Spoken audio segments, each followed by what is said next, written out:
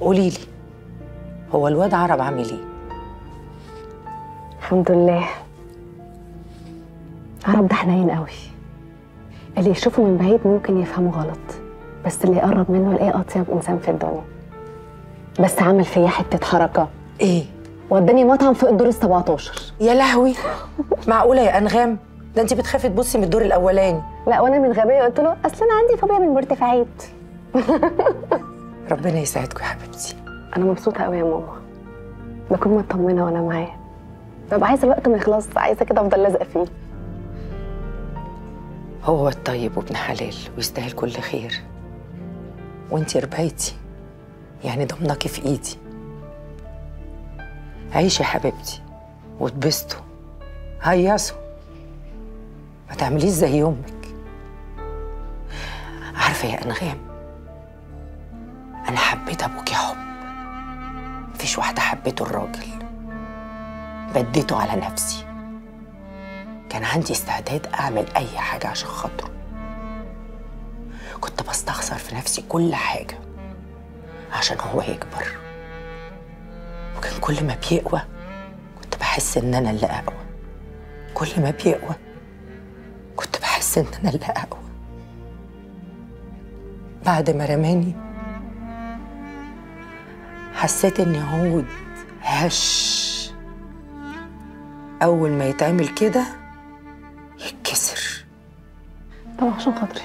عشان خاطري ابوس إيدك بلاش الكلام ده. أنا هخرج النهارده تاني معاه ما تيجي معانا. لا يا حبيبتي روحي انت مش قلتلك اللي زي بنت تتعود على الشقة. روحي واتبسطي.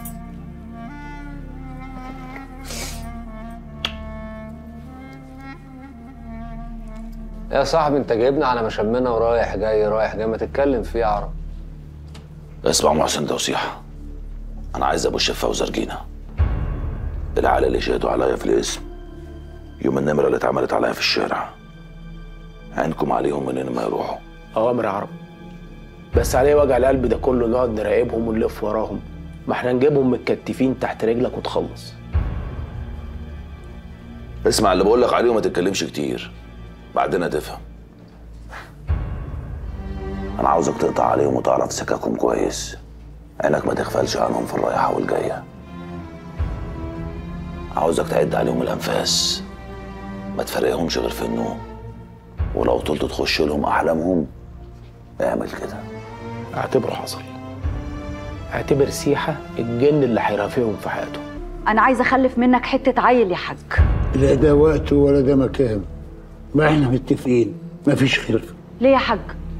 هو أنا مش من حق أجيب حتة عيل عشان لما أكبر أتسند عليه زي الخلق؟ وأنا قلت لا.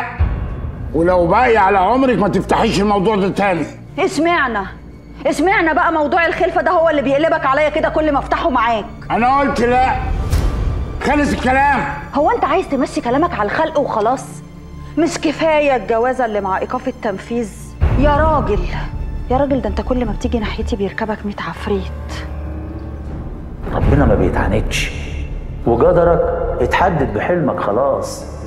ابنك اللي من صلبك هياخد أجلك يا عبد ربه. انت يا بنت انت مش فاهمه حاجة. يمين بالله ما فاهمه حاجة. انت تعالي هنا. ما كل اللي بتطلبيه بعملهولك. ناقصك إيه تاني يا بنت؟ بنت غرباوي. بنت غرباوي ناقصها إيه تاني؟ مش لما يبقى في أولاني يبقى في تاني. بقول لك إيه ما تروح يا اخويا الدكتور يشوفك خلينا نخلص من الموضوع ده بقى. دكتور لمين يا بنت؟ أنا أحسن من أي حد لمحيت عينك. يمين بالله العظيم لو فتحت الموضوع ده تاني لاقطم رقبتك تقطم رقبتي؟ تقطم رقبتي ليه؟ عشان بطالب بحق اللي ربنا أمر بيه؟ طب يا اخويا طالما بتقطم الرقاب كده ما تروح تقطم رقبة أنغام اللي ريحتها فاحت في المغربلين كلها. إيه؟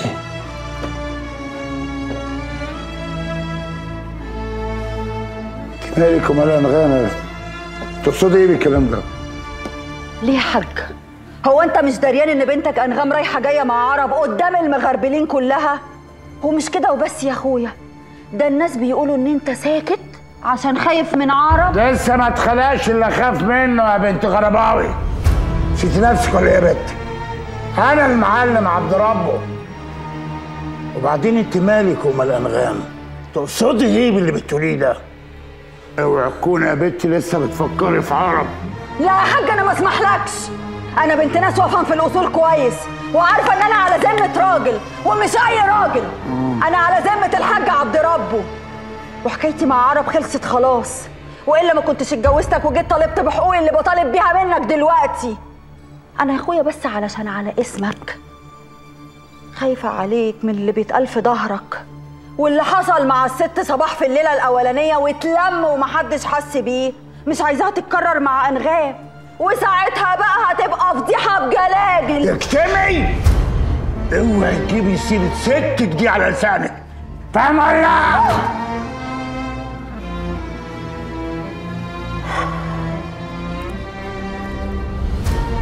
بقى شغلك عامل إيه؟ الحمد لله. مستنيين افتتاح المتحف الجديد. هيظبط لنا السياحة قوي يا رب. إن شاء الله ربنا يحقق لك كل اللي انت عايزاه وكل اللي نفسك فيه يحصل. إن شاء الله. بصراحة كده أنا عايز أقول لك على حاجة. أنا بصراحة كده حاسس لك إحساس كبير قوي يا نغام أنا مش شايف غيرك تنفع أم لعيالي أنا بحبك. تحبني أنا؟ أنا يا رب. أيوه بحبك أنت. هو أنت ليه محسساني ان مفيش مني اتنين. يا بنتي أنت عارفة أنت مين وأنا مين؟ عارفة. أنت عرب السويركي اللي حبيته عشان حاجات كتير قوي. حاجات عمري ما قابلتها مع أي حد عرفته قبل كده. انت بالنسبة لي بكل الدنيا يا عرب. أنا اللي محظوظ بيكي عارفة حكايتك معايا دي بتفكرني بالحكاية اللي كانت امي بتحكيها لي دايما زمان وأنا عيل صغير. حكاية الشاطر حسن اللي كان ينزل كل يوم يصطاد على مركب. ويلمح ست الحسن والجمال واقفة بعيد.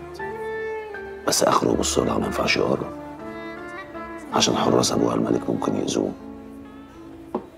وتلف الأيام وتدور.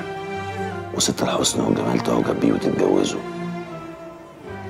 أنا دلوقتي حاسس إن أنا شاطر حسن وأنت ست الحسن والجمال. أنت اللي في مكان عالي وبتتواضعي وتنزلي لي. أنا مش مصدقة نفسي. ده بجد؟ قوم كده. في حاجة ولا إيه؟ قوم بس. رب.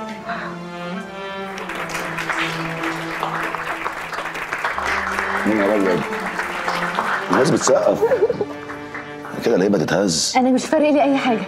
بص أنا أوعدك إن عمري ما هزعلك. عمري ما هزعلك يا عرب. يا ست مش وقت زعل ربنا ما يجيب زعل. خلي بالك ممكن يطلعوا موبايلات مصورة وهتبقى لقطة. ساعتها مش هقدر اوعدك بحاجة. يلا بينا. لا ماليش دعوة. يلا بس ربنا يهديك يا في. مش هنمشي مش هنمشي. لسه ثواني بس. يلا بينا. يا عرب. هيصورونا. والله يصورونا يلا. يلا يلا.